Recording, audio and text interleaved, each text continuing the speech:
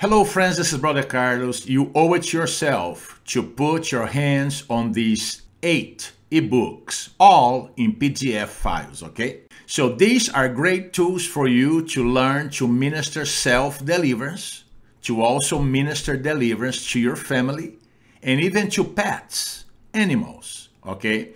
Also house cleansing, curse breaking, financial curse breaking, you name it, okay?